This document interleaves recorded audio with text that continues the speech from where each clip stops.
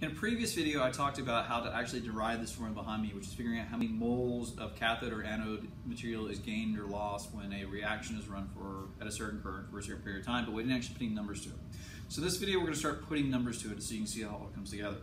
Now, I've changed the reaction on the board from this previous video. So before it was zinc and copper, but that was a really easy reaction. So let's go with something a bit more challenging. And that's conversion of titanium plus 4 using copper to copper plus 2 in titanium. So we don't have these one-to-ones. It's 1, 2, 2, 1. In our cathode compartment, we're reducing titanium from plus 4 to 0. In our anode compartment, we're oxidizing copper from 0 to plus 2. How would we use this formula if we were given a problem? Well, you can be asked any part of this formula. You can be asked for current, you can be asked for time, and you can be asked for moles. So let's do a really straightforward problem. If we run this reaction how much of the titanium anode is created, how much of the copper anode is removed.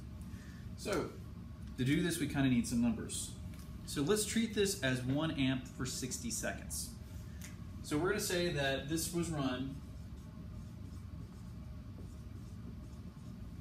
with one amp of current for 60 seconds. Well, for titanium and, and copper, it's all going to kind of look the same. We had one amp of power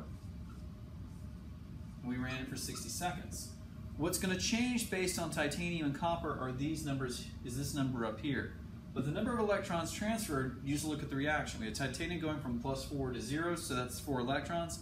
For copper, because this is a balanced reaction, this should always be the same. So this number here for N is 4.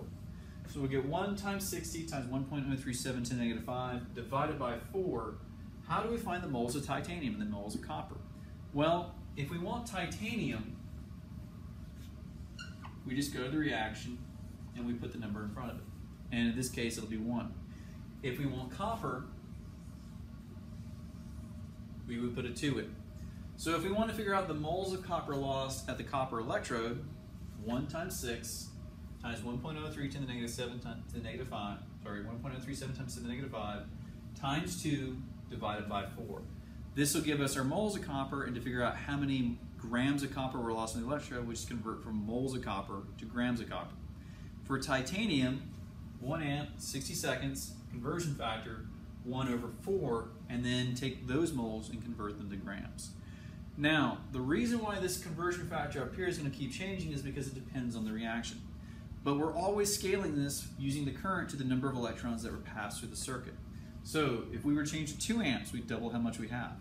Conceptually, though, it should make sense to you to say that we're going to lose twice as many moles of copper as we do moles of titanium because the copper takes four electrons to react, whereas the copper only requires two. So this is how you practically apply this formula. Given a variable, solve for the unknown. These I and T are problem specific. The number of electrons transferred in depends on the reaction, and whatever goes on top depends on what you're looking at. Are you looking for copper, titanium, anode, or cathode? This formula will always give you moles. It is up to you to know how to convert from moles to grams.